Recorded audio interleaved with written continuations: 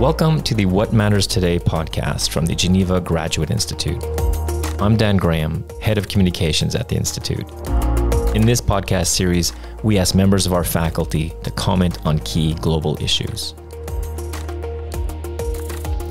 Next week is Science Diplomacy Week here in Geneva, and therefore, this week's episode of What Matters Today will focus on the topic of science diplomacy.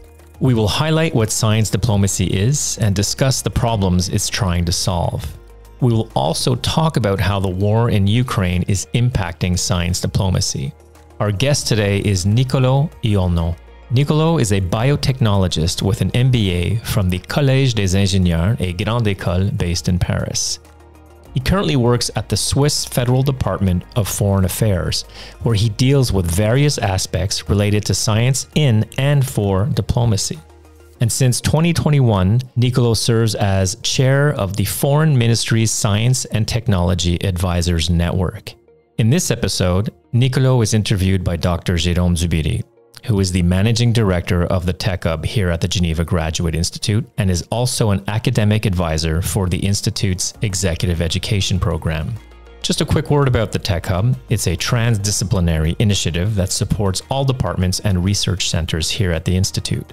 The Tech Hub's initiatives revolve around two main objectives. One, supporting research, teaching, and dialogue on and with digital technologies at the Institute. And two, expressing our own voice on technologies.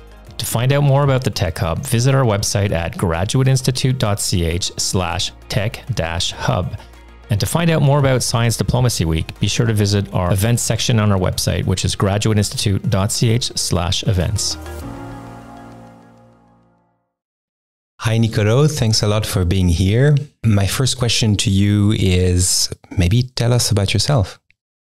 Thank you so much, Jerome. Thanks uh, for having me here at the graduate. Um, maybe I have to start by saying that my academic background is actually in uh, biotechnology. So uh, I'm actually a natural scientist, uh, and uh, you know I started my professional career in uh, technology transfer, which is the branch within a university that supports researchers to commercialize their technology.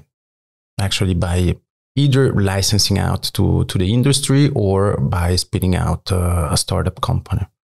And it's through technology transfer that I came in touch with science diplomacy, and I think we are here for that. And um, actually, like uh, Swissnex in Boston was looking for a head of uh, startup and innovation services, and uh, that was my uh, my first actually uh, professional experience into into the field.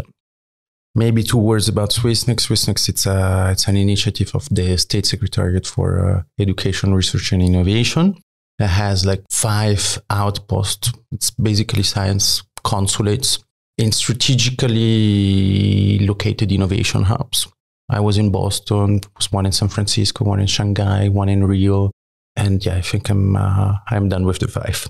And uh, so it was an amazing experience. Uh, and uh, there, actually, I had the chance to meet people such as George Church at the base of the Human Genome Project, Noam Chomsky, or Bob Langer. Maybe maybe people here at the graduate don't know him, but he is actually the one who started the company Moderna, who developed the, the vaccine that unfortunately we all uh, know about.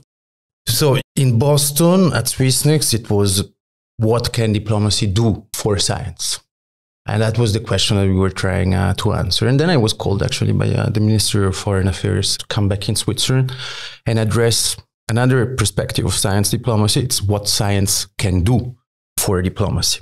And that's what I have been working on uh, basically in the in the past uh, four or five years. And uh, yeah, like uh, Geneva, it's an important tool for Swiss diplomacy. We have been trying, you know, to funnel science scientific knowledge and data into whatever is happening here on the multilateral uh, stage. And then also we realized that uh, science can be a neutral broker for uh, you know our diplomatic pursuits uh, abroad in politically fragile uh, context. So that's another avenue. And then uh, we have been working with peers to exchange best practices, and that's where you know my activity with the Foreign Ministry of Science, Technology, and Advice Networks uh, comes into play. Thank you, Niccolo. So maybe In one or two sentences, can you give us your definition of science diplomacy? Because you already gave us some uh, sound illustrations of this, but so there is an update, uh, uh, an outdated actually uh, definition of, uh, of science diplomacy, uh, but which helps to understand a little bit the mapping of uh, the different dimension. It's it's the one given by the Royal Society, and you have science for diplomacy, you have diplomacy for science, and science in diplomacy. So these are the three dimensions, and within the science in diplomacy here in Switzerland, what we're trying to develop is also uh, a sub branch, which is anticipatory science diplomacy. And uh, yeah, science for diplomacy is actually how can you use like a scientific collaboration to foster your diplomatic uh, interests. Diplomacy for science, how can you use the diplomatic network to the service of the academic community at large. And then science in diplomacy is uh, how you really develop uh, a knowledge based uh, approach uh, to diplomatic uh, processes. Thank you, Niccolo. My first, my third question would be what is science diplomacy trying to fix? It's it's a very interesting question, and uh, it's uh, yeah, it's it's difficult to answer. But uh, I think there is a there is a bit of cross pollination between uh, two words, not speaking the same languages, uh, having a different work culture, having different stakeholders, uh, different KPIs. Uh, so it's really bridging uh, these two worlds, the world of science and the world of diplomacy. And I think I like uh, I like to uh, to understand it as another way of technology transfer somehow somehow. And uh, that's actually like what is also happening. Like within universities, you see that that you know there are brokers of scientific knowledge for the policy making and for some weird constellation, they're embedded within the technology transfer offices. So that's a little bit, uh, you know, my uh, my take home message. So it's bringing two uh, two uh, two words that are not speaking the same language. Thank you, Niccolo. So science diplomacy, and in particular anticipatory science diplomacy, is quite important for Switzerland. Can you tell us a bit more about this? Yes, so if we go back to the the taxonomy that we defined before, I think uh, we have been striving for science diplomacy, this, uh, especially when our federal councillor Ignazio Cassis came into office uh, with his uh, scientific background. He really wanted to strive and uh, explore new avenue on how to bring more science into into the diplomatic services. And again, going back to, to that definition, Diplomacy for Science was already uh, well established uh, and developed. The SwissNex network, it's actually an example there.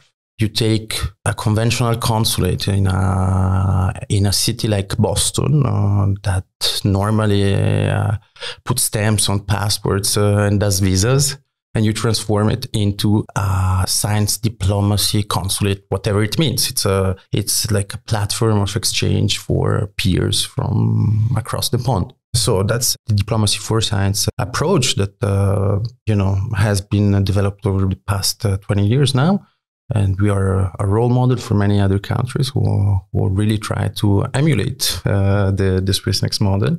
Then for science for diplomacy, uh, maybe I can bring a, an example from uh, the practice. You have here in Geneva CERN, which is the epitome of science diplomacy. Uh, it started in a different era, uh, but CERN is based on a model of science for peace, actually.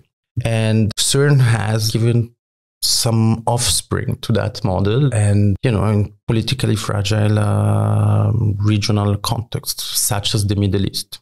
Example like uh, professor herwig schopper was a former uh, former director general of cern uh, really gave a contribution to the establishment of this infrastructure in jordan and Sesame, yeah, which uh, brings together countries such as Iran, Israel, Palestine, uh, and it's amazing. Now um, he's uh, I think 99. He's turning 100 years next year, and uh, he approached us uh, because he saw that uh, you know we were uh, we were working on, on science for diplomacy approaches, and he he was actually working on a mini CERN but for the Balkans, and he was able with you know representatives of the region at CERN to bring together ten countries. And. The political context in the region, it's useless to say it's a bit difficult they come out from a period uh, that uh, has been characterized by a lot of tensions. Serbia, Kosovo, and you have uh, another element.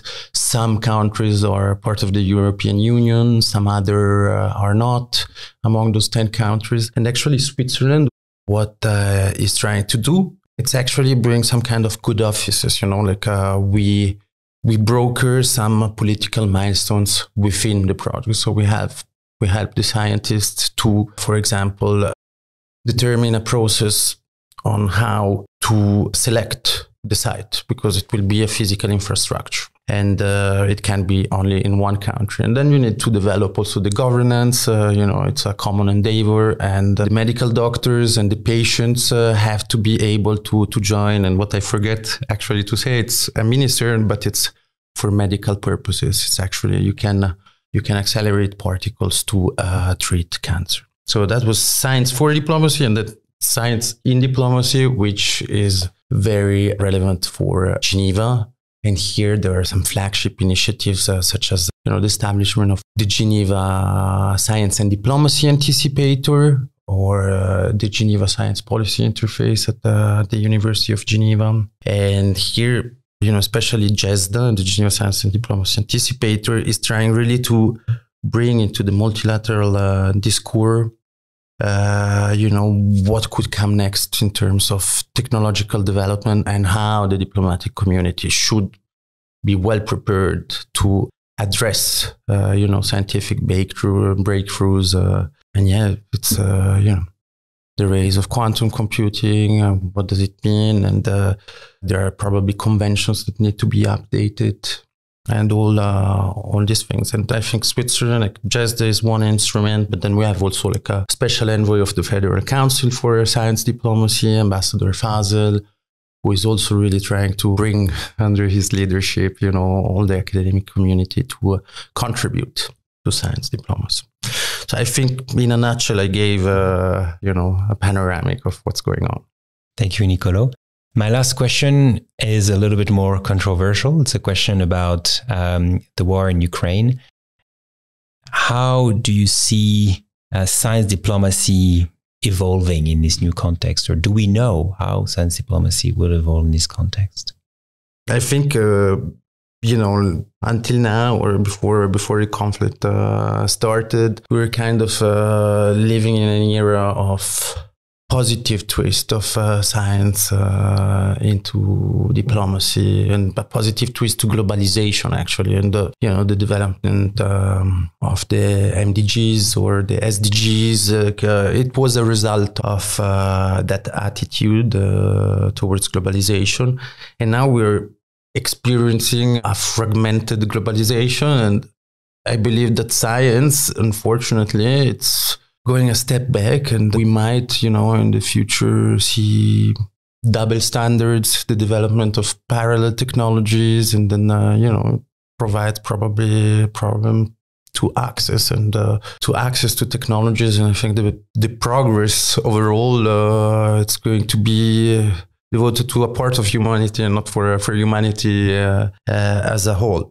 So I think there is uh, there is that uh, as overall uh, as overall concept for um, you know the, the, breaking of the, the conflict in Ukraine. Um, we saw that there there has been an incredible uh, solidarity among the academic community, and that's another aspect, if you want, of science, science diplomacy. Like many many universities uh, open door to scholars at risk uh, from both sides, uh, and uh, I think even here in Switzerland we have uh, we have some uh, some excellent examples, and and the Graduate Institute counts among those institutes that have given the example.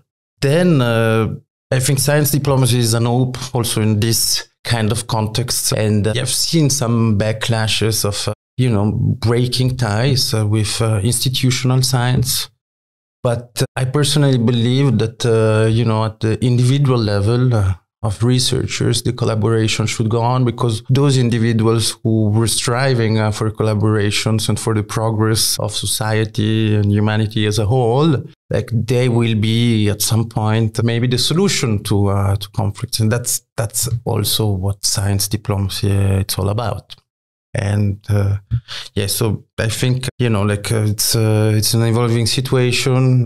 Fortunately, like the perspective are not great. I think like uh, we're living in this fragmented world in which like uh, geopolitical powers are also you know controlling key technologies and uh, and so don't see more openness rather closeness. So I don't want to end with a with a negative perspective but maybe the positive perspective for the scholars at the, the graduate institute it's really you know try to keep uh, the set of value you work for and its openness and uh, you know try to keep uh, the international research community alive for the progress of humanity whatever thank you very much thank you niccolo it's true that in, in this context of globalization and fragmentation of the world science diplomacy can definitely offer some alternatives uh, to bridge the gap between these different parts of the world and uh, that's certainly something that we're going to look for and, and support here